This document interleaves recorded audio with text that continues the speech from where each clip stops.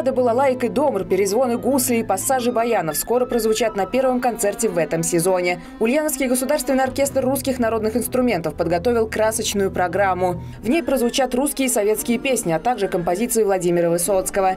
Не обойдется и без вариаций на тему горячо любимого многими романса «Очи черные». Вместе с оркестром выступит ансамбль «Воронежские девчата». В основе его репертуара женские лирические песни Центрального Черноземья. Также прозвучат и авторские произведения современных композиторов. В частности, выступят наши солисты Глеб Авдеев, Татьяна Пермякова, порадуют наших слушателей своим инструментальным исполнительским искусством. И вообще вечер должен быть очень теплый, атмосферный, и мы ждем э, какого-то, знаете, энергетического наполнения а, потому что, конечно, сейчас нам всем требуется определенная эмоциональная, моральная поддержка в эти непростые времена. Оркестр будет выступать два дня подряд. 1 октября концерт пройдет в Димитровграде в зале научно-культурного центра. А 2 октября коллектив вернется, чтобы блеснуть на сцене Дворца культуры «Губернаторский». Оба выступления состоятся в 17.00.